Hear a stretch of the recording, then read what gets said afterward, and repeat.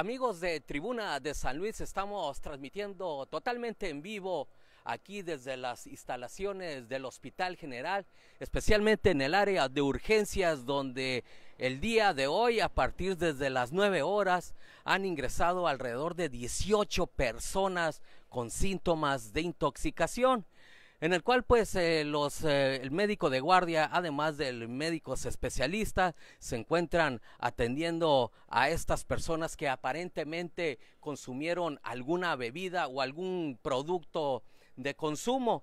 Para ello quiero decirle que en su mayoría son residentes de la colonia Mezquite que probablemente tomaron eh, un refresco o quizás consumieron algunas tortillas y dadas las características eh, del cuadro eh, que presentan de intoxicación como escalofrío, ansiedad, alta presión, pues hacen presumir que aparentemente pudo estar contaminado estos productos con metafetamina.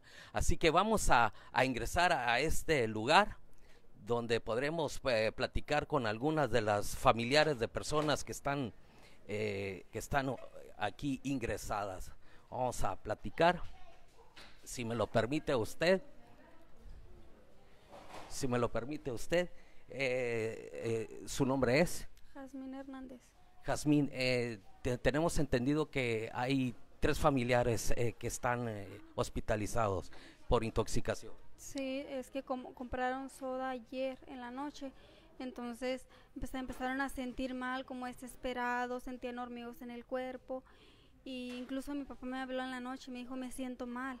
Entonces, mm, ahora en la mañana me habló mi hermana, me dijo, ayúdame a llevar al niño al hospital porque se siente muy mal, está imperactivo, traía la pupila dilatada, mi mamá también traía las pupilas dilatadas, eh, los ojos también los traía dilatados, entonces los ingresaron y sí les hallaron que estaban intoxicados con, con lo que es la soda o las tortillas, no sé qué comieron y hasta ahorita pues no me han dado razón de ellos. Así es, bueno, a, través de todo este tiempo, eh, me imagino, eh, están con suero, están siendo atendidos. Sí, están con suero, están en el, hospital, pues.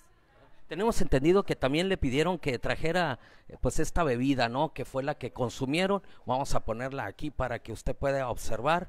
Bueno, al menos vemos que el envase pues no muestra algunos residuos, sin embargo la viscosidad de, lo que es la espuma sí nos hace pues eh, presumir que aparentemente puede que esté intoxicado, bueno, esté contaminado, perdón. Asimismo, pues les digo que eh, estas personas que fueron ingresadas, pues eh, aún no han salido, ha sido larga la espera. Sí, desde las 9 de la mañana hasta ahorita no, no, han, no han salido, pues. Bueno, y con ellos, estimados televidentes, eh, amigos que nos, que nos siguen a través de Tribuna de San Luis, las precauciones, sobre todo, tener mucho cuidado en, al consumir estos productos, sobre todo fijarse bien qué es lo que van a beber en, mientras vayan a comer, no vaya a ser que también puedan eh, intoxicarse, sobre todo para todos los residentes de la, del sector de la colonia Mezquite informó para Tribuna de San Luis Joel Olea, el camarógrafo Mario García.